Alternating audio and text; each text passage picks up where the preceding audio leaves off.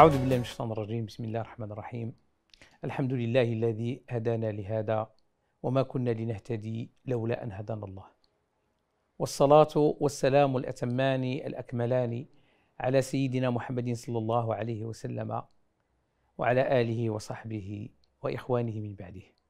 مدحه الله عز وجل في سورة القلم وقال بسم الله الرحمن الرحيم. نون والقلم وما يسطرون ما أنت بنعمة ربك بمجنون. وإن لك لأجرا غير ممنون. وإنك لعلى خلق عظيم. هذه الآية الكريمة صورت حسن الخلق وكأنه عرش يتربع عليه سيد الخلق سيد ولد آدم سيدنا رسول الله صلى الله عليه وسلم. وهو الذي قال على نفسه أدبني ربي فأحسن تأديبي.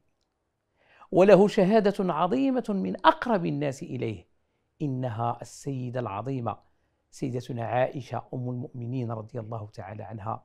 عندما سئلت عن خلقه قالت كان خلقه القرآن أيها الإخوة الكرام أيها الأحباب الكرام أيها المستمع الكريم الدين هو حسن الخلق. ومكارم الأخلاق صفة أساسية من صفات الأنبياء والصديقين والمصلحين. ومن أراد أن يسير على دربهم لا بد أن يتخلق بأخلاق رسول الله صلى الله عليه وسلم. والخلق الحسن يرفع المؤمن درجات ويرفعه مقامات. فعن سيدنا أبي هريرة رضي الله تعالى عنه قال قال رسول الله صلى الله عليه وسلم إن الرجل إن الرجل لا يدرك بحسن الخلق درجات الصائم القائم الظمآن في الهواجر. وسوء الخلق في المقابل يكون سببا لدخول النار وخصوصا وخصوصا بالنسبة لمن هو قائم صائم ولكن أخلاقه سيئة. فعن سيدنا أبي هريرة رضي الله تعالى عنه قال قال رجل يا رسول الله إن فلان إن فلان تكثر من صلاتها ومن صيامها ومن صدقاتها غير أنها تؤذي جيرانها. سوء الخلق. فما هي النتيجة؟ تؤذي جيرانها بلسانها قال عنها رسول الله صلى الله عليه وسلم هي في النار. إذا لم ينفعها صيامها ولم ينفعها قيامها مع وجود سوء الخلق. وسئل رسول الله صلى الله عليه وسلم عن ما يدخل الناس إلى الجنة.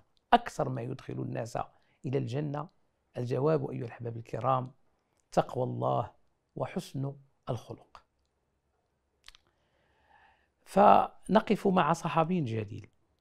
وهذا الصحابي سمعته زوجته يقوم الليل كله ويقومه بدعاء.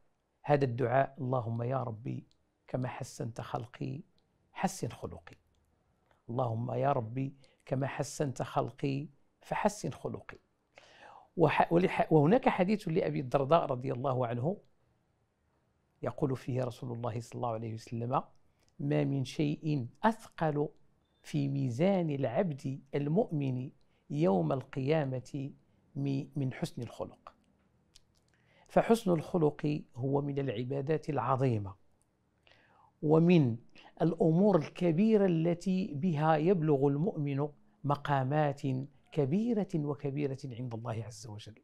فاللهم كما حسنت خلقنا حسن أخلاقنا. واجعلنا يا رب ممن ألبستهم هذه الأخلاق الحسنة.